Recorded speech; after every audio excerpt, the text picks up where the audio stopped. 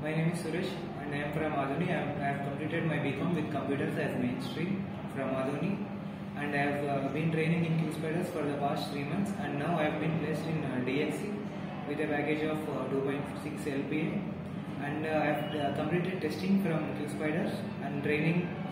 The trainers were very good and manual was completed by Ramya ma'am. SQL was taken by Varun sir and Java was completed by Nagabhishek sir. The trainers have been very good and supportive.